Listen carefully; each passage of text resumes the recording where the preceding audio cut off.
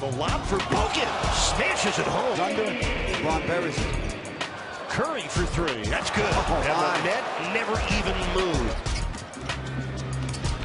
Curry over LeBron. Oh, my. What a shot by Curry. Curry for three. Oh, my. With Battier right in his grip. 10 for 14 from three-point line.